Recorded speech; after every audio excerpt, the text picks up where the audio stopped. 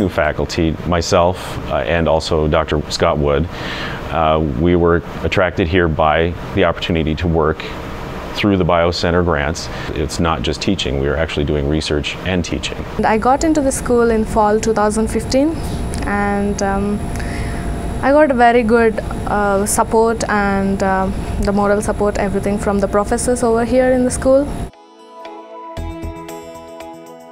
So one of the, the primary uses of the lattice light sheet microscope is, I like to think of it as confocal micro microscopy on steroids. It allows us to actually observe living cells without damaging them. So we can watch them in, as they're actually doing something. One thing that people are very interested in is what's called endocytosis. It's the ability of cells to pull things into the cell. And one of those projects that we're working on is to observe the endocytosis of what's called nanocellulose or cellulose fibers to understand how cells can actually process those fibers.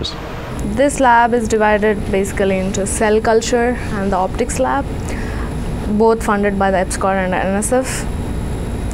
So we have good infrastructure over here. If you see, this is the FLIMFRET microscope, which mainly uh, helps to measure the intracellular forces, interactions in the proteins and everything.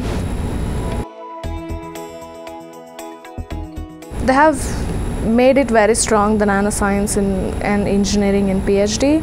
So it's like um, establishing or extending its wings over the bio nanotechnology side by the collaborations here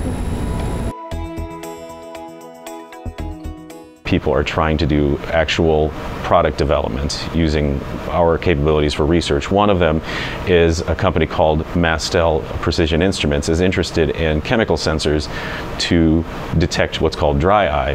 And through one of the BioSNTR seed grants, we're actually developing a sensor to do that.